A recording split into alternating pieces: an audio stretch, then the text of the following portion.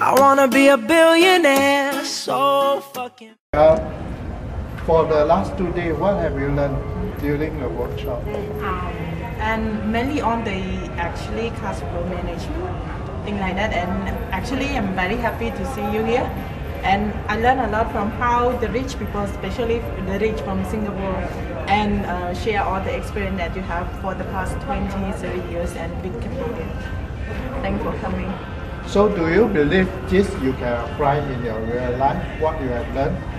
Yeah, I think so. So, you know what? Currently, I earn quite good money as well, but I don't know how to manage my money. I don't know how to um, use my money, you know, and create more money.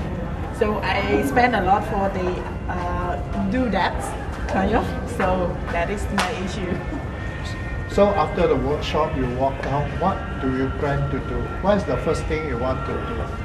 I need to be more smart in uh, smarter in managing my uh, my cash flow, my money, and I'm thinking to uh, reinvest the uh, money as well, kind of the thing to create more passive income.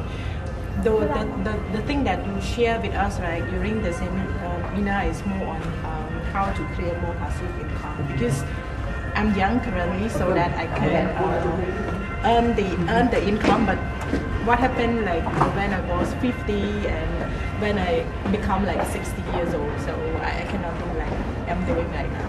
Do you realize that a lot of people know how to make money and they work for money, but they don't know how to make money work for them? Right, right. Most of the people work for money. Even myself, uh, money slave. Yeah, so besides working for money, you also must use make money work for you. Yeah. Then you can become a master of money. Right. If you continue to work for money, you become a slave of money instead Correct. of Correct. a master of money. Correct, correct. Yeah. Yep.